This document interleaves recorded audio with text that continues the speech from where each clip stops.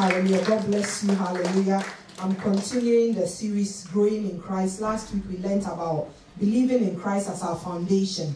That coming to church is irrelevant if we do not believe in Christ. So the basics and the tenets of our foundation, uh, our Christian faith, is first of all giving our lives to Christ. So if you are here and you haven't given your life to Christ, I will encourage you. You can have a conversation with me after service, and I will be happy to lead you to Christ. That is the beginning of our Christian journey. That is where we start. And I believe that whilst we are here, all of us have made that call, we have made that decision, and we have gone to say that God, we want you in our life. Be my personal savior. Hallelujah. So last week we talked about believing in Christ, and this week we, we are going on to, to the new nature. Hallelujah. Because the Bible tells me in the Second Corinthians 5, my emphasis will be on 17, but I would like you to read from verse 1. The Bible says that if any man is in Christ, he is a new creature. The Bible says that the old is gone. Behold, the new has come. Hallelujah. Hallelujah. Let us pray. Father, we thank you for your faithfulness. As we study and as we learn, as we hear your word about growing in Christ and what it takes to grow in Christ. Father, I pray that, Lord, you will bring illumination to your word. That you use me as an instrument, O Lord that even as I minister, I minister to myself as well, that I will grow in you from grace to grace and from strength to strength. I pray that everyone that will hear the word today will go back reflecting on their Christian life and endeavor and do whatever it takes to grow in Christ in the mighty name of Jesus. The Bible says that if a man is in Christ, he is a new creation. So once you have given your life to Christ, it doesn't end there. He says that you are a new creation. The New Living Translation says, either way, Christ's love controls us. Since we believe that Christ died for all, we also believe that we have we have all died to our old life. He died for everyone so that those who receive his new life will no longer live for themselves. Instead, they will live for Christ, who died and who, who raised, who was raised from dead. Hallelujah. So we have stopped evaluating others from a human point of view. At one time, we thought of Christ merely from a human point of view. How differently we know him now. This means that anyone who belongs to Christ has become a new person. Hallelujah. Amen. Hallelujah. So once you give your life to Christ, the Bible says you become a new person. Hallelujah. And I know that when you become a new person, old habits don't just go. You don't wake up and all of a sudden everything is spanking new. Hallelujah. That would have been a magic.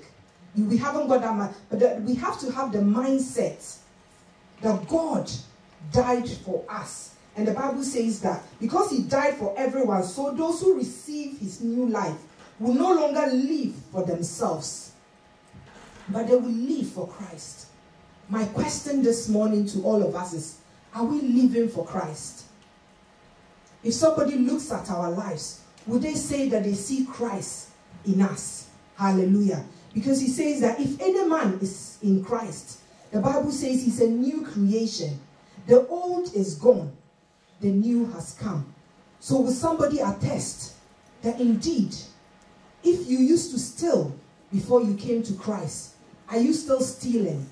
If you used to fornicate before you came to Christ, are you still in fornication? If you used to have all sorts of things that are not glorifying God, and you did everything, you said things with your mouth, remembering that your body is the temple of God, are you still doing the same? The Bible says that if any man is in Christ, behold, the old is gone. So we need to have that conscious effort. We need to make that conscious effort to say, God, I want to renew my mind in you. I want to be like you. I want to be an ambassador for Christ. There has to be a difference between my life and the Gentile next door. Hallelujah. That our life will make a mark of difference. That you cannot be in Christ and remain the same. Hallelujah.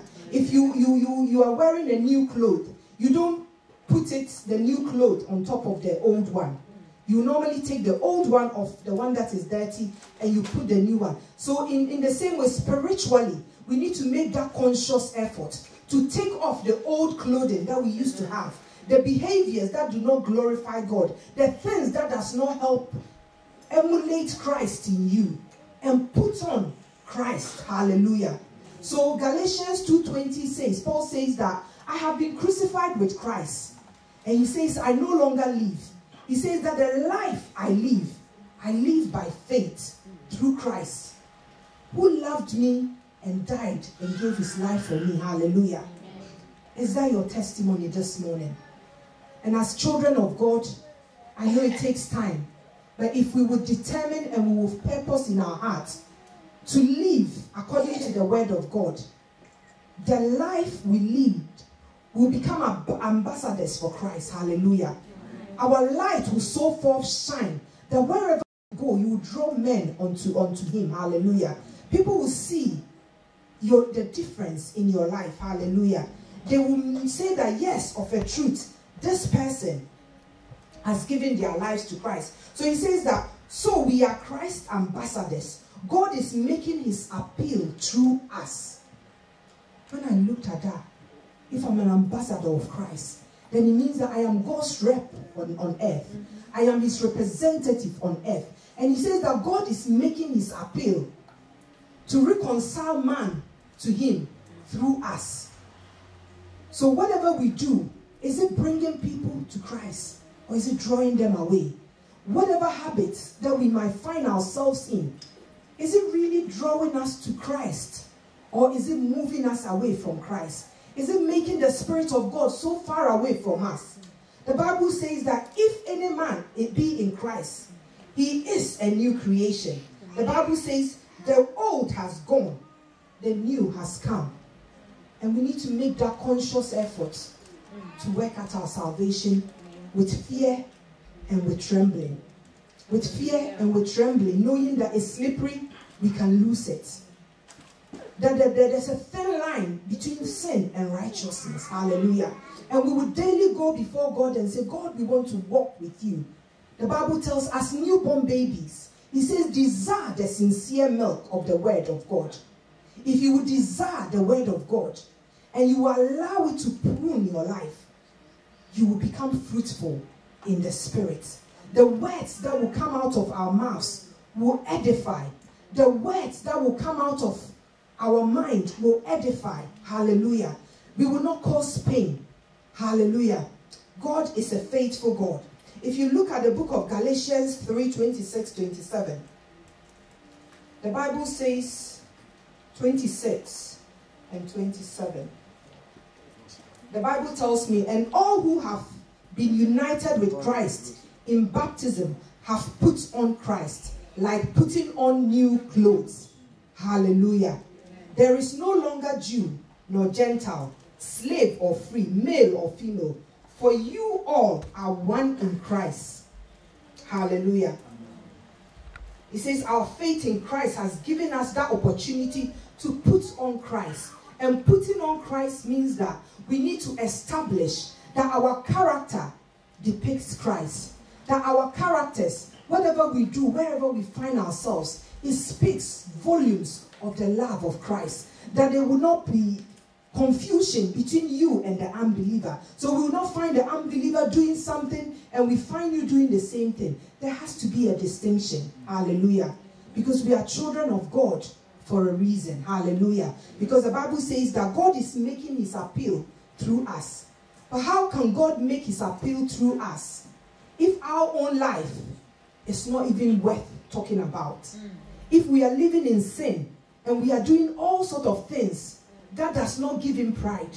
Hallelujah. There's a song that says, I want to make you proud. I want to put a smile on your face. I don't know who sang it, but each time I, I hear that song, Jonathan Nelson. Yes, Jonathan Nelson. I just think about it. If you wake up every day saying, God, I want to make you proud. I want to put a smile on your face. Then it means that my behavior step by step, you, I, I will ask you to order it.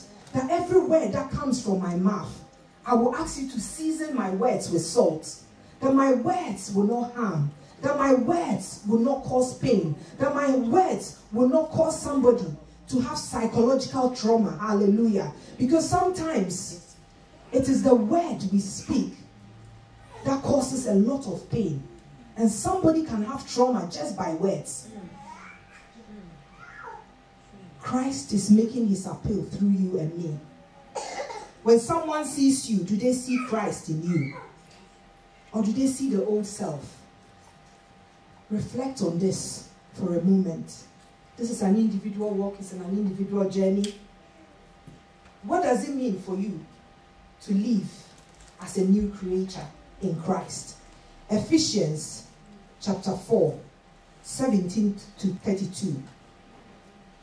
With the law's authority, I say this live no longer as the Gentiles do, for they are hopelessly confused. Their minds are full of darkness. They wander far from the life God gives because they have closed their minds and hardened their hearts against Him. Hallelujah. The Bible is saying that they are hopelessly confused. They have hardened their minds and their heart. So, is it true that somebody can harden their mind and their heart and decide that they will choose not to do what God wants them to do? But that is what the scripture is saying. He's saying that live no longer as the Gentiles do, as the unbelievers do, for they are hopelessly confused. Yesterday we were out preaching the word and telling people that Christ came to die for their sins. And one of them was saying, Oh, that is a lie. I don't believe it. Hallelujah. They are ignorant. But we prayed and we said, God loves you anyway. He came and He died on the cross for you. And we pray that God give them illumination. That even as they go back to their homes to sleep, may you speak to their hearts. Because all we need to do is to speak out and say, God, touch their lives. Because it is only God who can convict a person, not the evangelism we do. Hallelujah. So even the other people who said, Oh, when we said, God bless you, they said, Oh, what have we done for God to bless us? And we said, God bless you because He loves you. He gave His life for you on the cross of Calvary. And they said, Oh, I believe in God, but I don't believe in Jesus. We said, It's okay. Jesus Christ still loves you. Hallelujah. So the Bible says that we should not longer live as the Gentiles do, who are hopelessly confused. Their minds are full of darkness.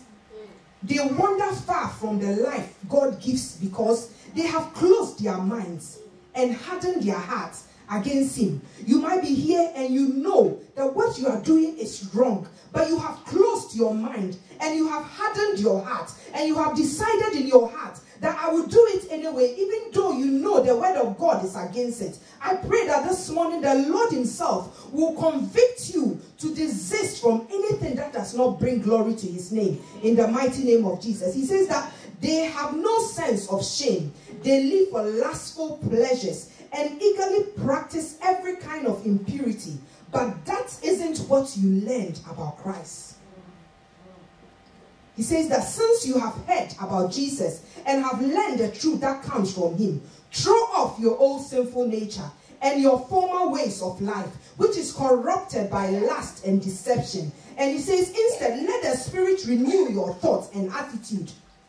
He says, put on your new nature, created to be like God, truly righteous and holy. So stop telling lies. Let us tell our neighbors the truth. For we are all part of the same body. And don't sin by letting anger control you.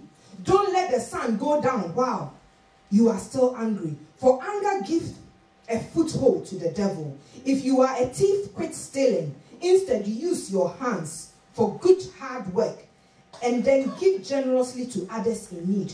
Don't use your use foul or abusive language. Let everyone who says everything you say be good and helpful, so that your words will be an encouragement to those who hear it, and do not bring sorrow to God's Holy Spirit by the way you live. When I got there, beloved, I was struck. He says that do not bring sorrow to God's Holy Spirit by the way we live. So it means that by the way we live, we can make the Holy Spirit sad because God has bought us with his precious blood. He says, Your body is my temple. And he says, Honor me with your body, honor me with your, your intellect, honor me with everything that is within you. But you choose to do otherwise. And I pray that this morning that the Lord Himself will ask us and will help us to renew our minds, that we will make a conscious effort. It has to be a deliberate effort. Because if you don't work at it, it won't happen. It's not automatic. It's like you want to save a thousand pounds. Will it just appear in your savings account? No. What do you have to do? You might have to set up a direct debit and say that every month I'm going to put a hundred pound as a standing order into this account. And every month it goes, whether you like it or not. You are making a conscious effort to make sure that you hit that target of a thousand pounds a month. Hallelujah. So, in the same way, by renewing our mind, we need to talk to God before we set off from the house and say, God, I want my life to be pleasing unto you. I want my, uh, my life to be a light unto the darkness. So I don't want to be doing the same thing that the unbelievers are doing. The fact that they are doing it doesn't mean that I qualify to do the same. That I want to be set apart for Christ. And if you will look in the Bible, anybody that God used, the Lord separated them. And the Lord told them to set themselves apart for his use. And if God will use you and you will minister to many people and be useful in this generation, you will need to set yourself apart. The Bible says that they hardened their minds and their hearts. Have you hardened your heart? Have you discerned and have you decided that regardless of what you hear or what the Bible has told you, that you will still not bother anyway? The Bible says that, behold, if anyone is in Christ, he is a new creation. The old has gone. He says our words should be an encouragement to those who hear it. And do not bring sorrow to the Holy Spirit by the lives that we live. He says, remember, he has identified you as his own, guaranteeing that you will save, you will be saved on the day of redemption. Get rid of bitterness, get rid of rage, get rid of anger, harsh words, slander, as well as all type of evil behavior. Instead, be kind to each other, tender-hearted, forgiving one another, just as Christ, God through Christ, has forgiven us. Many a times God forgives us so much for the many things we do against His will, against everything that He tells us not to do. But we find it so difficult to show mercy onto another person. But if we have to walk in our new nature, then the Bible says we should be kind one to another, tender hearted, forgiving one another, just as God through Christ has forgiven us. If you remember the mercies of God, if you remember where He picked you from, that you were nothing, Yeah. and He bought you, and He purchased you with the blood of Jesus. Amen. What can somebody do so much that you cannot forgive? Hallelujah. This morning, God is saying that we should be kind one towards another. And He's encouraging us to grow in Christ. Hallelujah. There's a scripture in Colossians 3 1 to 17. I will encourage you to just make a note of it. I'll try and read it briefly. Hallelujah. Colossians chapter 3 1 to 7. It talks, um, I'll read it quickly. It says, Since you have been raised to new life with Christ, set your sights on the realities of heaven, where Christ sits in the place of honor at God's right hand. Think about the things of heaven and not the things of earth. For you died to this life, and your new real life is hidden with Christ in God. And when Christ, who is your life, is revealed to the whole world, you will share in all his glory. And he says, Put to death the sinful earthly things lacking within you. Hallelujah. He says, Put to death. Tell your neighbor, Put to death. Hallelujah. It means kill it. Hallelujah. He says, Kill it. If there is any habit that you are you are involving, the Paul says that sometimes the things I want to do, I cannot do it. But there is grace. And if you choose to live right, God will give you the enabling power. Oh, yes. Hallelujah. God will give you enabling power. Hallelujah. He says, So put to death the sinful earthly things lacking within you. Have nothing to do with sexual immorality, impurity, lust, and evil desires. Don't be greedy, for a greedy person is an idolater. worshiping the things of this world. Because of these sins, the anger of God is coming. You used to do these things when your life was still part of this world. But now it is the time for you to get rid of anger, rage, malicious behavior, slander, and dirty language. Don't lie to each other, for you have stripped off the old sinful nature and all its wicked deeds. Hallelujah. So he says in verse 10 Put on your new nature and be renewed as you learn to know your creator and become like him. Hallelujah. Beloved, I'm saying that it is not magic. Just as you want to save a thousand pounds and it starts with a direct debit. If you choose to live right and you engage God and the Holy Spirit in it, He will help you. Even if you find yourself walking towards sin, God will prompt you and He will remind you to say, No, you shouldn't do that. And sometimes you may say something. Have you ever noticed that sometimes you say something, uh, maybe it's just me, and then straight away the Holy Spirit rebukes you? Have you experienced that before? Yes. I do. Sometimes I say something, and then straight away the Holy Spirit will just convict me and say, No, you shouldn't have said that. And then I just straight away I realize that God is speaking to me. Because the Bible says, I am the salt of this world. So when I realize that, I hold on and I pray and I say, God, help me. Hallelujah. Because in the book of James, the Bible says that the tongue is the littlest body part. But the Bible says it's hard to control the tongue. So sometimes once it's come out, it's very difficult. Hallelujah. So I am practicing. When I'm angry, I don't talk. When I'm angry, I decide not to talk. And sometimes it's even more painful for the people around me. It's not because I'm angry at them. It's not because I, I, I want to hurt them more. Because I just think that the things that might come out of my spirit because of the anger might not be edifying, might not help them. I'm a mental health nurse, so I understand that sometimes psychologically, the things I say might have impact. So I choose not to say anything sometimes. Hallelujah. Because sometimes the things that run in my head, if I pull it out and I want to put it on paper, I say, God, this is not like your child. This should never come out of me. Hallelujah. And I say, God, refine me. Make me better. Make me a, a salt. Make me a, somebody who will refine the world around me. Make sure that my words will edify. That I will be an encourager. That I will not be somebody who will cause pain and bitterness and rage and anger. And that when I go wrong, I'm quick enough to say, God, I am sorry. Hallelujah. Hallelujah. Because I understand that God has been so merciful unto me. God has been so merciful unto me. And without Him, I can do nothing. Hallelujah. We will continue this series. And I want us to just rise up on your feet. We will continue this growing in Christ series. And I believe God wants us all to renew our minds. It's a conscious effort. We have to work at it day in, day out. Whatever it is, whatever it takes. Don't condemn yourself. The Bible says that there is therefore no condemnation. I'm not here to condemn you or to make you so feel guilty that you can't come to church. No, I want you to know that God loves you. But He doesn't want us to live in our old nature. Yes. He wants us to be renewed. He wants us to exhibit the good life that He has died on the cross for us. Hallelujah. Begin to pray. Have a tete a tete with your God. What are your struggles in life? What are your struggles? He says, if anyone is in Christ, he's a new creature.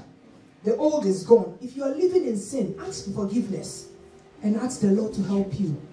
That you will set yourself apart for his use. That God will use you. Beloved, God will use you. But we need to set ourselves apart. Father, I thank you. I set myself apart for your use. Help me, Lord. Help me, Lord. Help me, Lord. Help me, Lord. That will be a good example unto you. That will be a good example. That you use me to nurture and to, Father, Lord, bring people unto Christ through the words, through my deeds, in the mighty name of Jesus. Father, we thank you for your faithfulness. We give you praise. We give you honor. We give you adoration.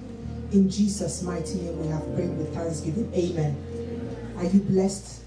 Have you received something from the Lord today? Hallelujah. Give the Lord a clap of praise. Hallelujah. Hallelujah. Hallelujah. Hallelujah. Hallelujah. Give the Lord a clap offering. Hallelujah. Father, we thank you for your faithfulness. We thank you for your grace. In the mighty name of Jesus.